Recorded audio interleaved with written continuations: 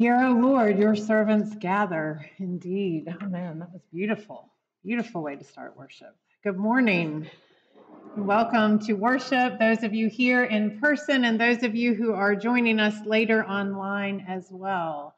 Today is World Communion Sunday. Um, I will just confess, our sermon series does not fit in with that. And I just didn't try to force it. However, with some of the visuals that we have, with some of the music, um, the different breads that we'll have for communion, we are reminded today that we gather with Christians all over the world at Christ's table as we meet Christ in the breaking and the sharing of the bread and the cup. Today, we also received the Peace and Global Witness offering, which is one of our denomination's special offerings. It's received on this Sunday or this time of year each year. The offering supports peacemaking ministries. 25% of it stays locally, 25% of it is um, used regionally, and then 50% of it is used for peacemaking ministries globally. Um, those include things such as um, disruptions that are caused by climate change, by systemic racism, and by human trafficking. These offerings are part of what it means to be a connectional church. All um, the PCUSA churches participate in this offering, and when we all give a little bit, it adds up to a lot. We can always do more together than we can on our own. Um, so you will find an envelope in your bulletin this morning. You can also give online using the QR code or by just going online on your computer or via text, and instructions for all of that are on the back of your insert and on the back of the, the envelope as well. Um, lastly, um, Brian and I would invite you to stay for after church fellowship um, this morning. We continue to be grateful for all of the love and support that you all poured out on us as we um, got ready for our wedding in June and wanted to say a thank you when we came back from that time away. It was things had kind of died down and so um, Melanie from Fellowship suggested maybe wait till fall. So it's fall. Um, so we just um, invite you to share in that. Brian had wanted to use leftover wedding food. I told him no.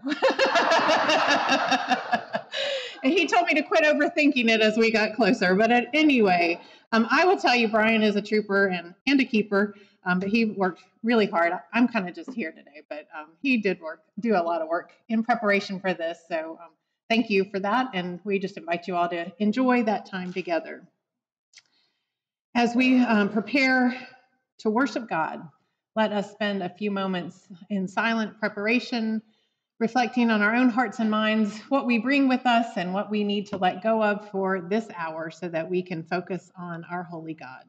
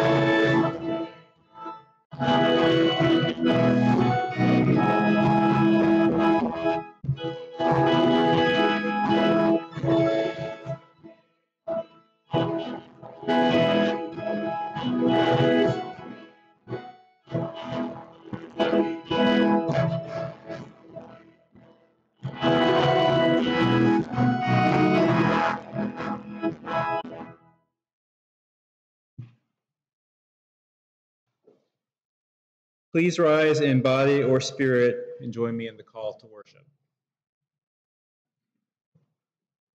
Around the world, people gather to break bread and pour wine. We gather with them in heart and mind. Around the world, the banquet of God is prepared for the table. We who share in the banquet come eagerly to receive and share. Around the world, the broken body is made whole. We who are many are made one. People of God, let us come, for all is ready. We come now to worship the Lord.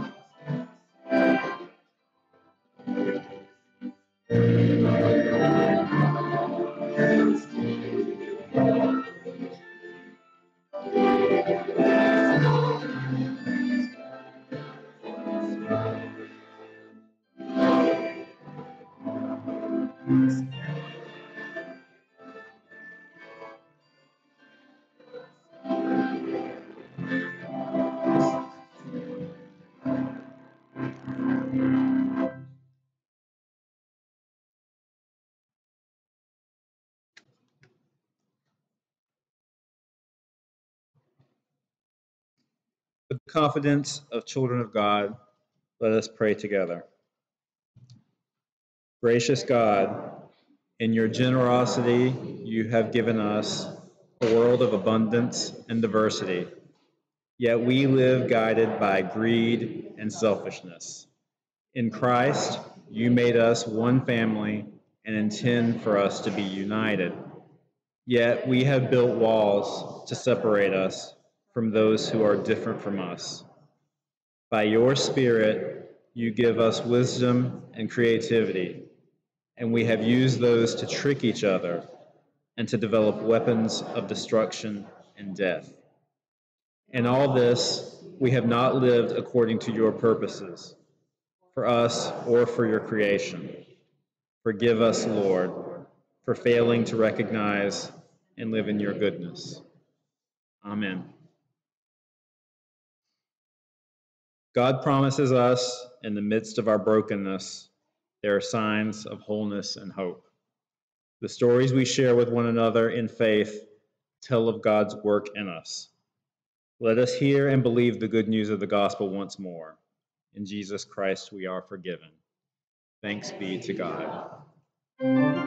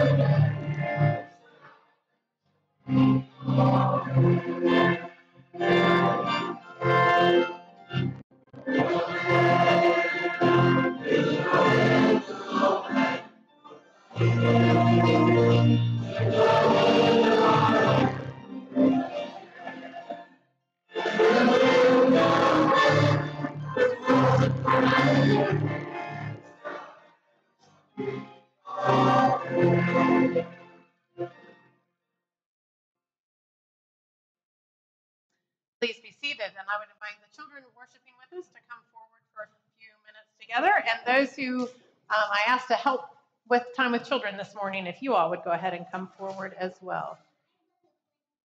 You brought a friend today? I see you brought a friend. Everybody has friends. I'm going to have to remember to bring my friends.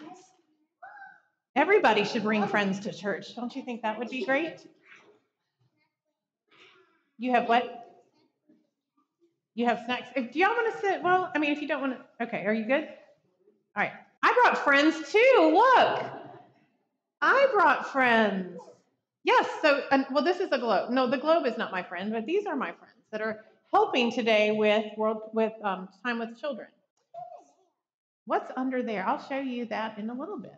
So today is Communion Sunday, and that's the day that we gather at this table. You want to have a look?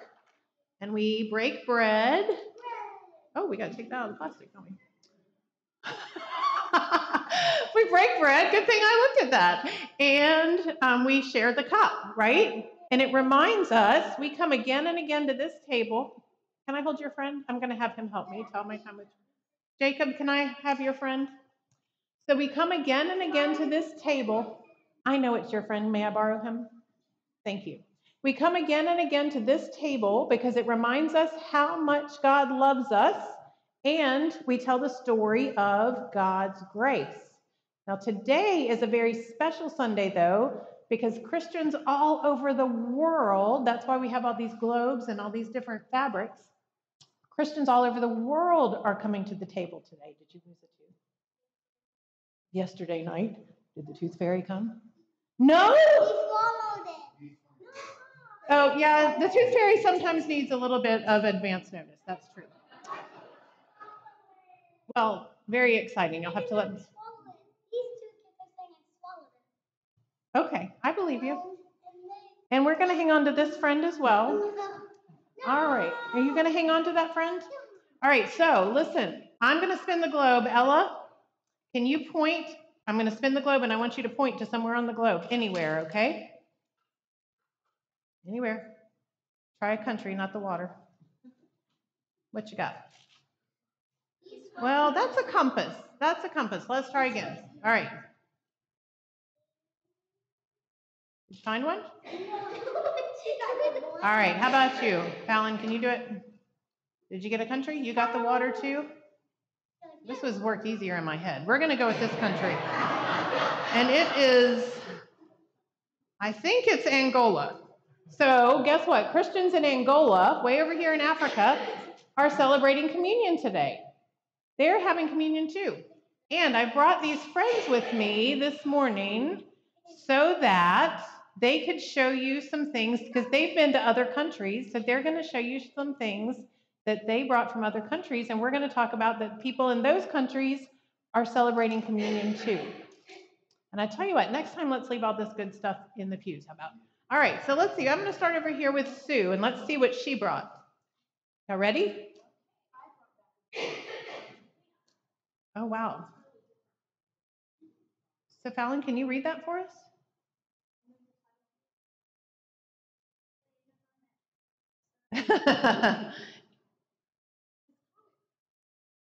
How about that? That's in a different language, isn't it? And it's from what countries?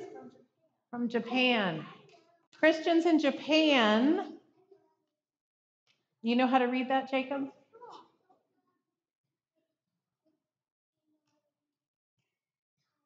Do you? Because I know how to read the pictures, but I don't know how to read the title. Guess what? Christians in Japan are celebrating communion today. David, what'd you bring? You brought a what? A, what? a weedle. Cool. And what country is that from? Christians in Puerto Rico are, guess what? Celebrating communion today. What did you bring, Susan?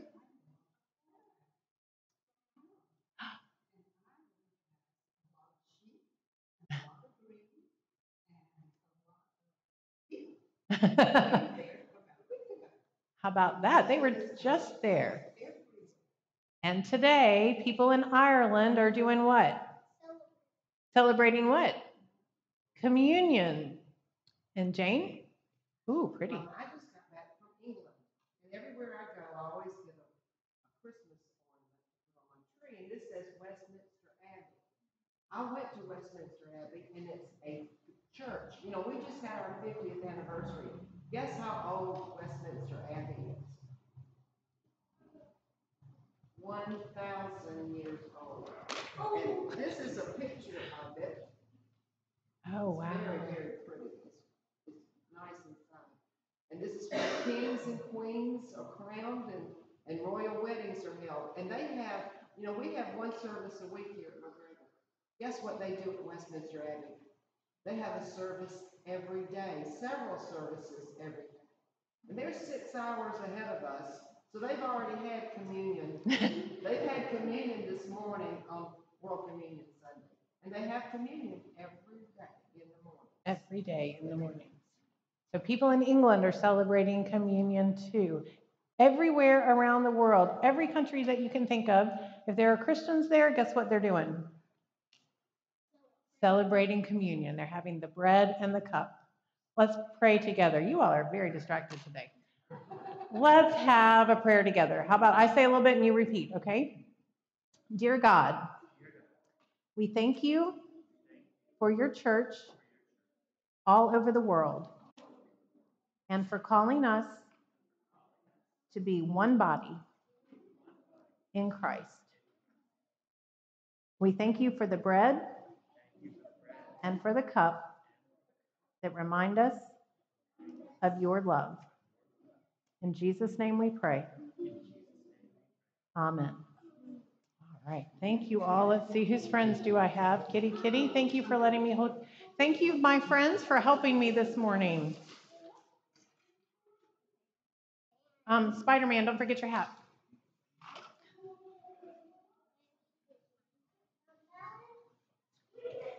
All right. You got it?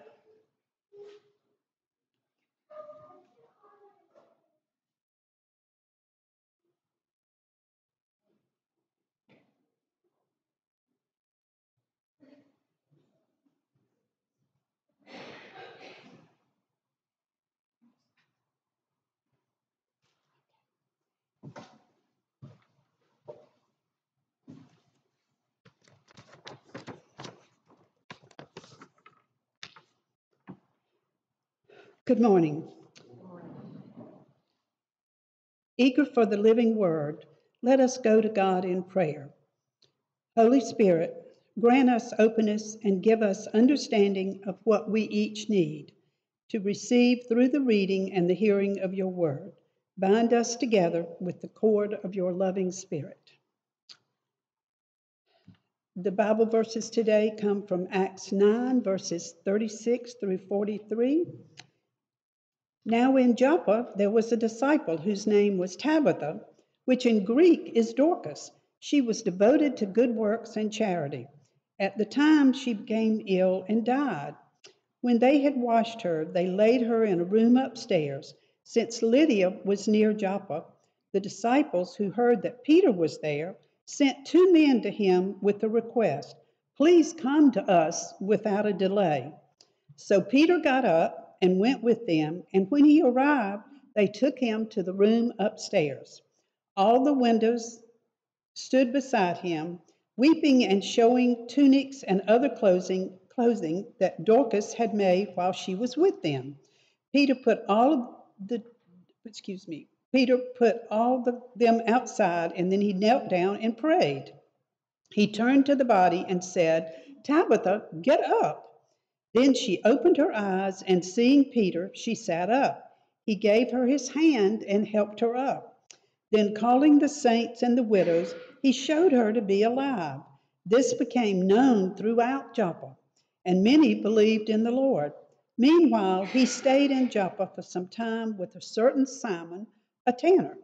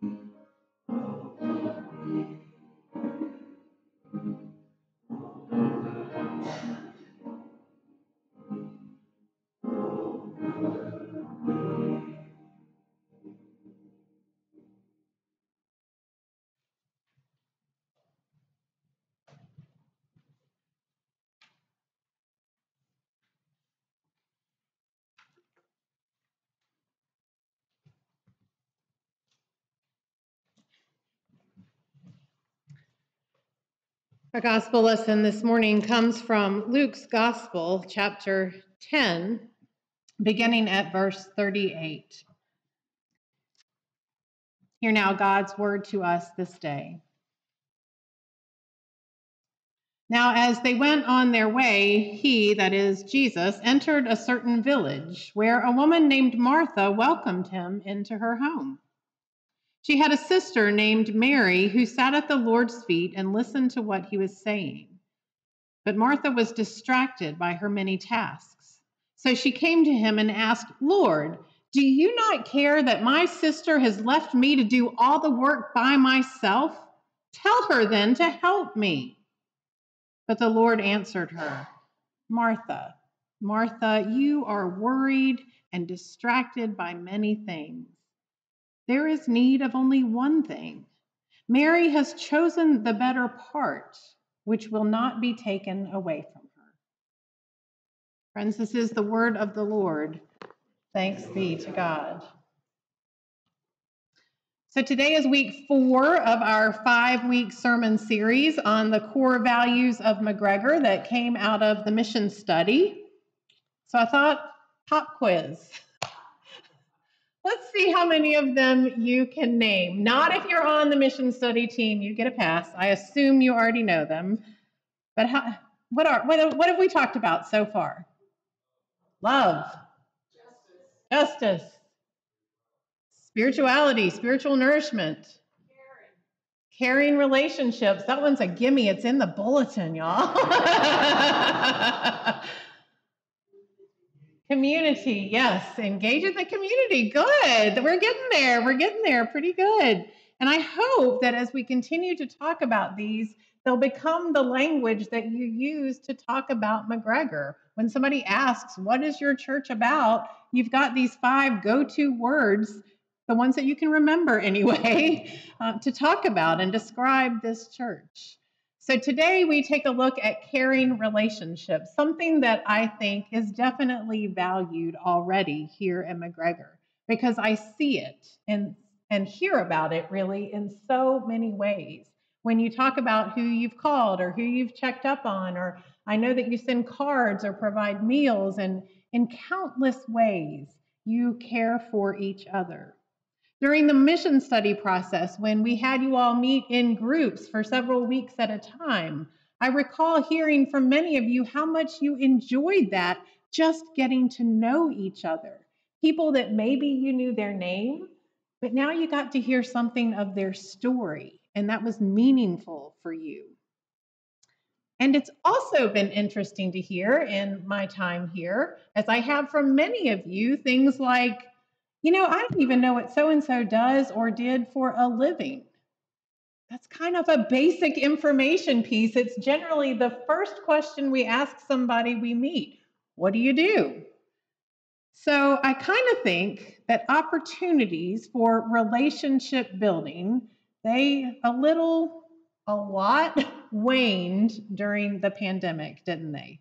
And so now we have to be intentional about providing them again in new, meaningful ways for everyone. Because caring relationships are valued here at McGregor, it will be important for you all to continue to cultivate them with each other, with newer members and friends, with the community, with those perhaps you don't know all that well, even here, even if they've been here a while. So while I know that you know a thing or two about caring relationships, it's always helpful to take a look and learn what Scripture has to tell us about them. I have long loved this story from Acts about Dorcas or Tabitha. Often it is read during the Easter season, and the focus is on resurrection. Peter telling her to get up, to rise, and so she does. But what I want us to focus on this morning are the people and the relationships. In this story, Tabitha was obviously an important figure in her community, and yet we don't know a whole lot about her. What we do know is this is the only place she is mentioned in Scripture. She's the only woman to explicitly be named as a disciple, and she was devoted to good works and acts of charity. Specifically, she made clothes for the widows in her community. And it's important for us to recognize how valuable a gift this would have been, and to consider how the people in Joppa, particularly the widows, were affected by her death. The widow's status in that day was precarious. They were often in want of even life's necessities. They had no inheritance rights. If they didn't have a son, they had no one to take them in. They were often exposed to harsh treatment by others in their community. But scripture tells us again and again that God extends concern to the widow. The people Israel were obligated to care for the widow, as well as the stranger and the orphan, those who are outcast. Jesus extended mercy and sensitivity to widows in his ministry. And here we have Tabitha, who in fact may have been a widow herself, but out of her own means made clothes for women who otherwise might have had only rags to wear. In caring for these women, Tabitha offered them more than clothing. She offered them hope ensuring that they could walk among their community properly dressed. This, no doubt, would have given them some sense of self confidence. None of us likes to stand out as different, as less than, as an outcast. Tabitha made sure that the widows in Joppa didn't. And they may have wondered among themselves, what would we ever do without her? What will we ever do when she is gone? And when that day came, ah, how they mourned her death. Luke tells us in detail how they washed and cared for her body, how they laid her in an upper room, the custom of the day, how they grieved openly, weeping at her death. It is such a tender and vulnerable scene. You see, when Tabitha died, so did some of the hope and the life and the care for the widows in her community. Because caring relationships, like the ones Tabitha showed to these women, are life giving. That's why they're so important. It's not just about knowing someone, though that's certainly part of it, but it's about the hope and the life, the encouragement that these relationships provide. So when these women heard that Peter was nearby, they sent for him. And Peter arrived to find the widows still weeping. It says that they showed him the tunics and other clothing that Dorcas had made when she was with them. How familiar a scene.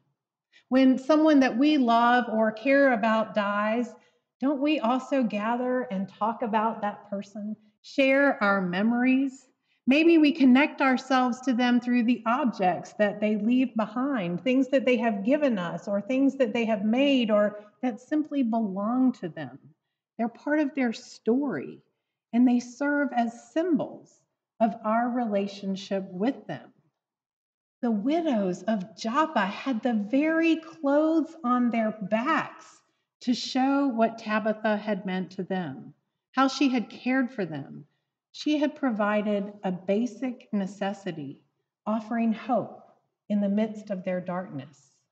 Such a caring relationship went far beyond knowing what they did for a living or how they spent their time in any way.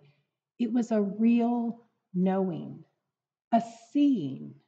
Tabitha saw the widows in her community, really saw them, saw their needs, saw them in their vulnerability, and cared for them. And we find in our passage from Luke's gospel as well that Jesus really saw Mary and Martha too. Martha has been busy, busy, busy, busy preparing her home for Jesus' arrival so he'd have a clean space to rest, clean water to wash his road weary feet, fresh sunshine filled sheets on the beds, a nice meal, wine for his travel weary body and soul.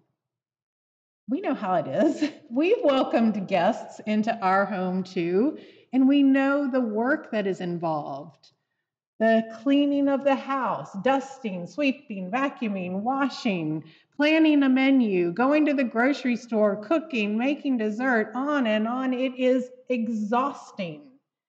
And sometimes we find ourselves so busy that our guests are left unattended or left to visit with others while we remain busy trying to make sure things are comfortable for their stay.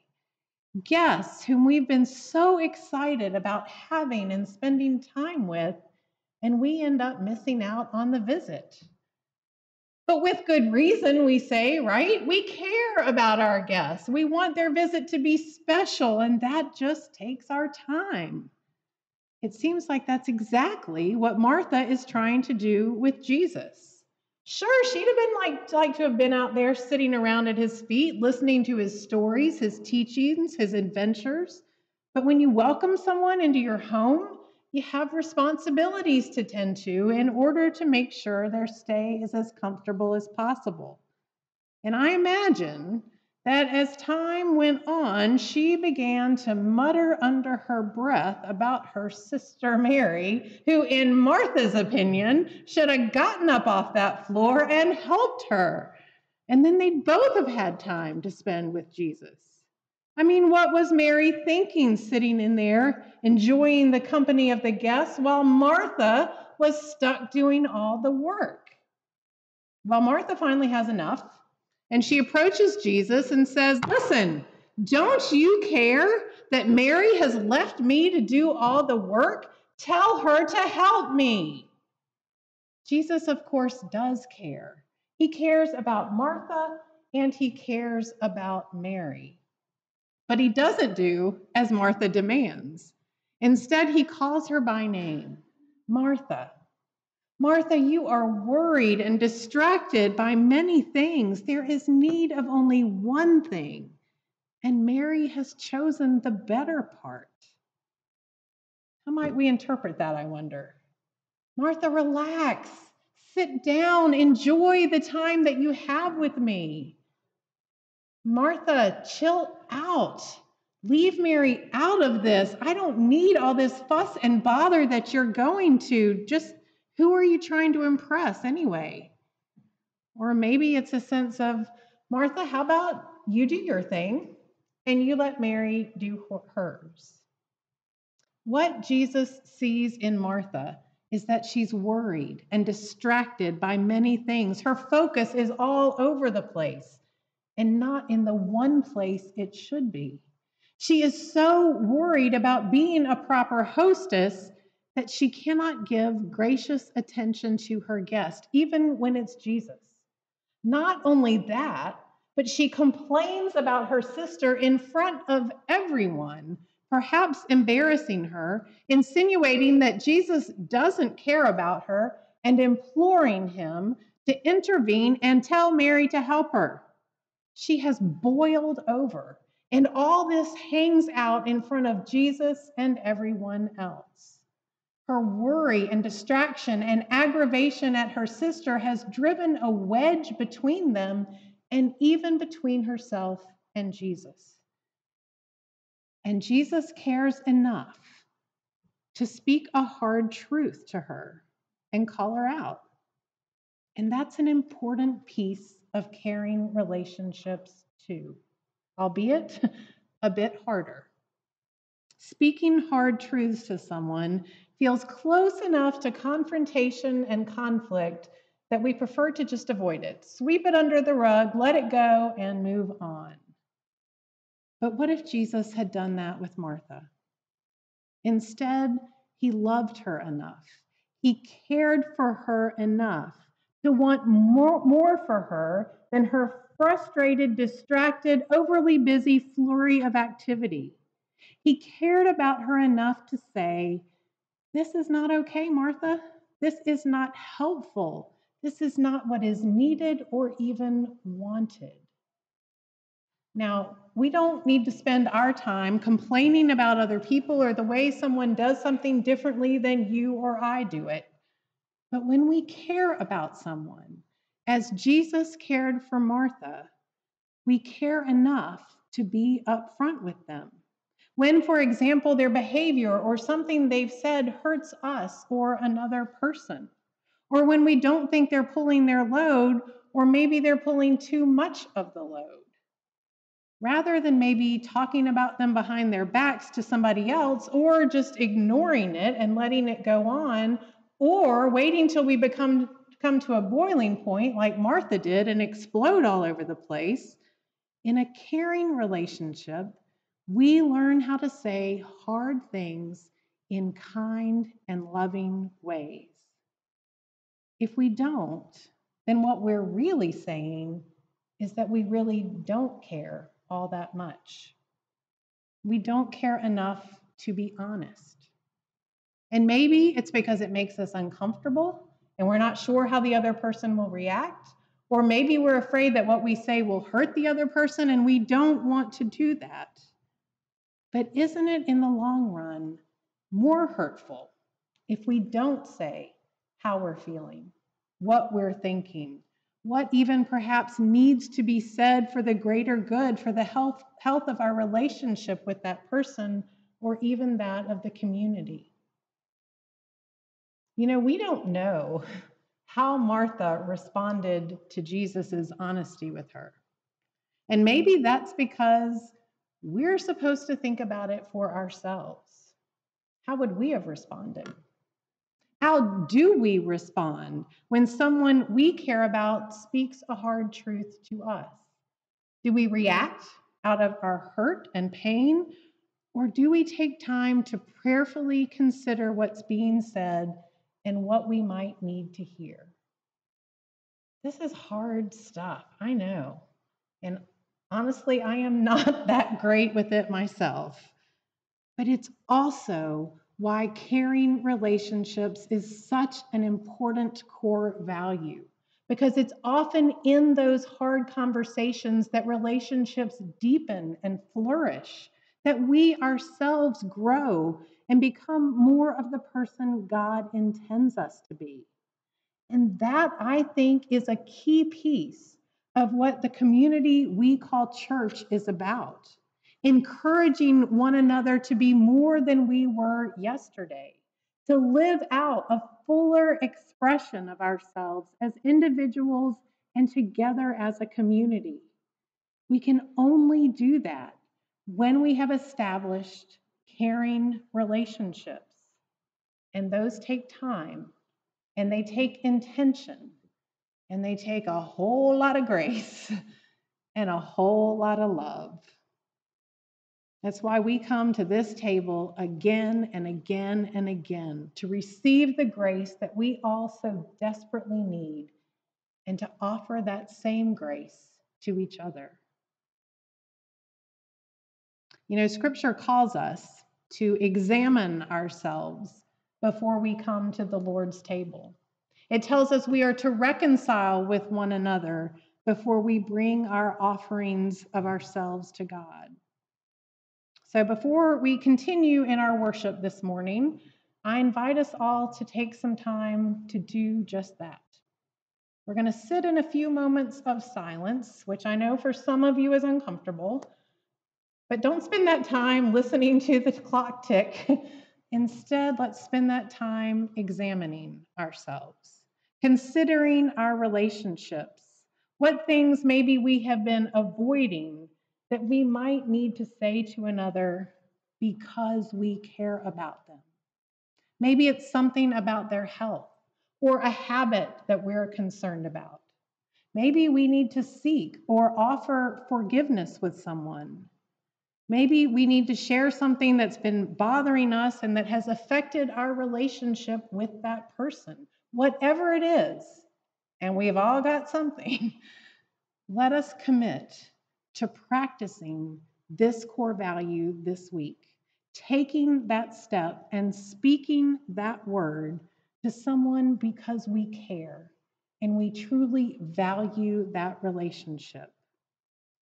And let us trust that God's grace, broken and shared and poured out at this table, will be sufficient for those conversations and those relationships. So, invite us all now to a time of silence in prayer and reflection.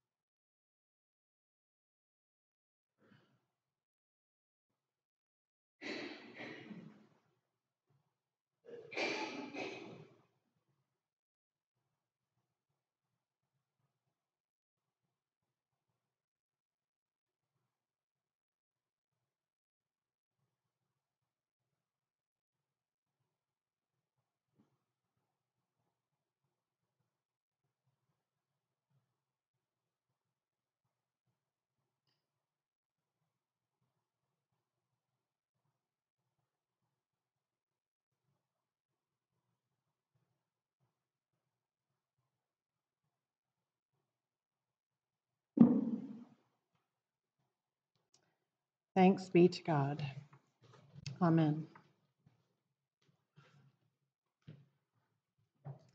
Friends, we continue to give because we have been blessed to receive. Our gifts, whether large or small, serve this church and help our neighbors down the street and around the globe. When we all do a little, it adds up to a lot. So, through our giving, we ourselves are blessed. And I would remind you again of the Peace and Global Witness offering, as well as our weekly offering that supports this church's mission and ministries.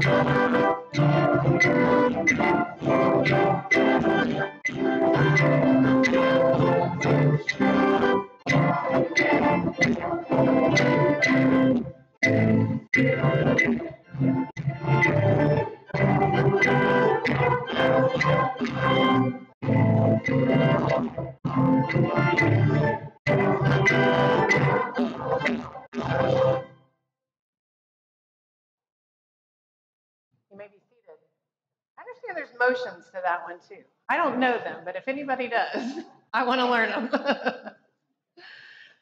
As we prepare to receive communion this morning, um, you're invited to come forward. The elder will place bread in your hand. Um, if you require gluten free bread, please just let them know we do have that available. Um, and then step to the next station and um, take your cup from the tray. We invite you to return to your seat and hold your elements until all have received, and we will all partake together. And we'll start with the outside wings and then move into the center sections and there's only a few of you on the outside, so that's not quite as critical. But those of you in the center sections, if you'll come, where we come down the center and around back that way. Is that correct? Yes. Okay. That way you're not stepping all over each other. And just start from the front um, and towards the back.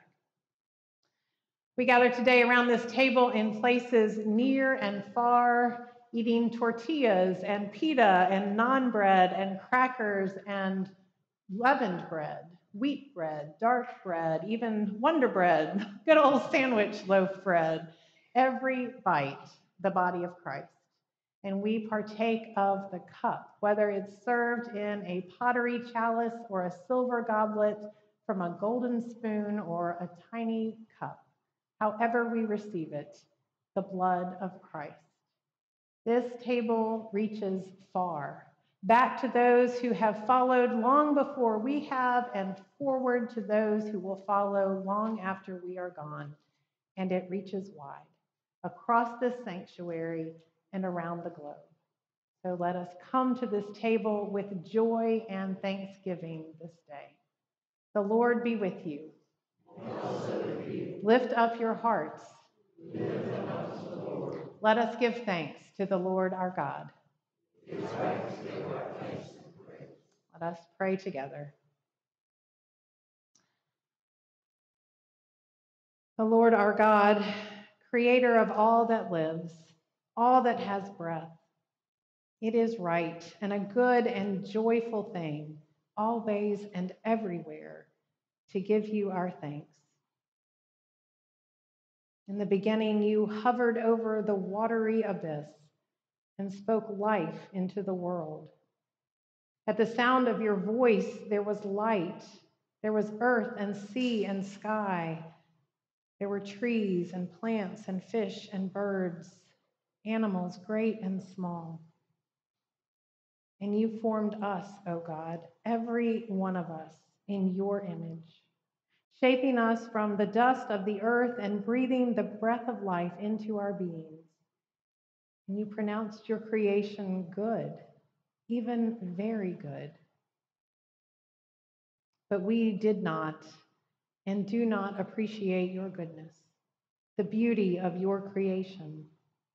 We spoke words of blame, words of hatred, bringing brokenness to your world, seeking to drown out your voice of creation, to make our voice equal to yours. Again and again, O oh God, in steadfast love, you called us back to your way, sending your prophets to speak truth to power and to proclaim once more your ways of love, peace, and justice. In the fullness of time, you entered our chaos again, embodied in Jesus of Nazareth.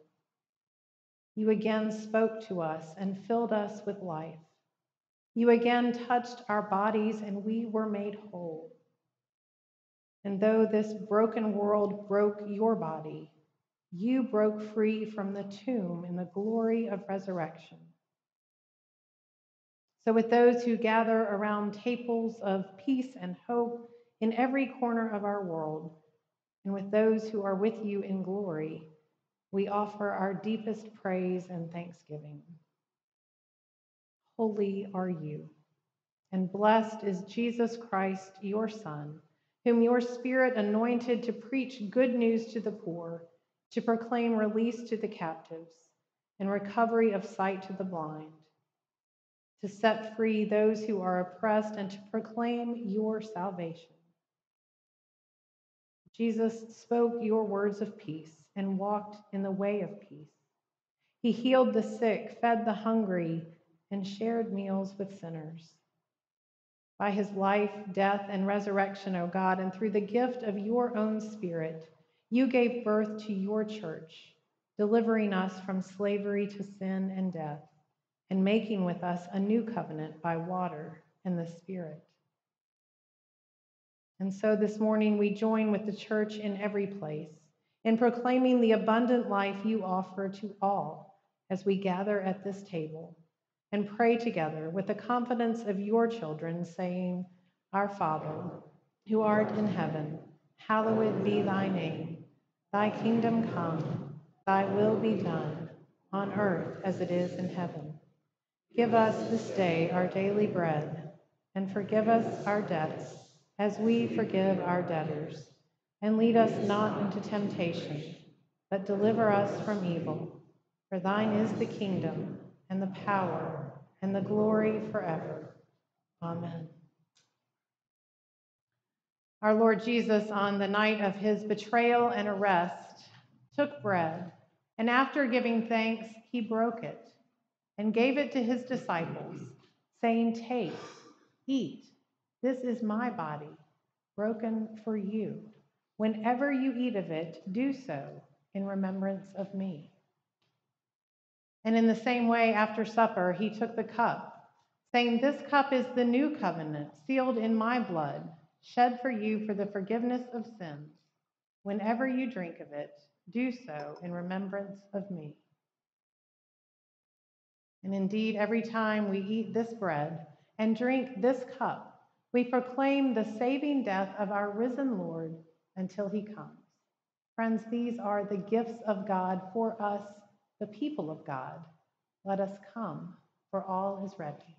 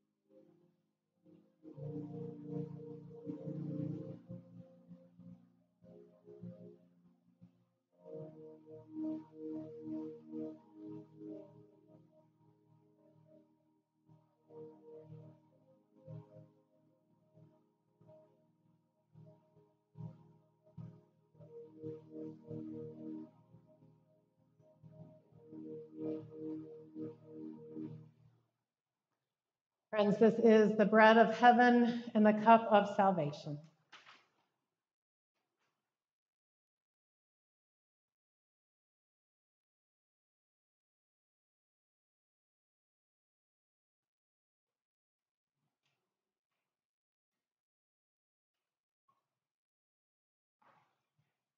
Let us pray together. O God of grace, we give you thanks for nourishing us at this our Lord's table, where all are welcome, for feeding us with the bread of life and quenching our thirst with the cup of blessing. So have you filled, as you have filled us, so now send us out, that we might be a source of hope and peace to those who hunger for the good news that we know in Christ Jesus, in whose name we rejoice to pray. Amen.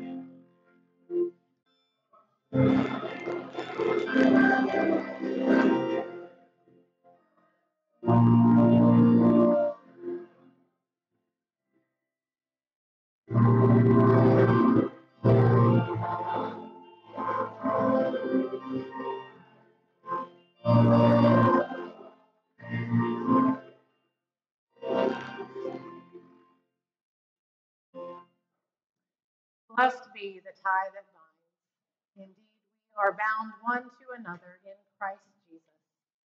And we are called to be one at this table and in the world, those who are like us and those who are so very different from us. So let us go with the peace of Christ filled in us that we may share it with those around us. As we go this day, may the peace of Christ indeed, the love of God, and the communion of the Holy Spirit be with each one of us this day and forevermore. Amen.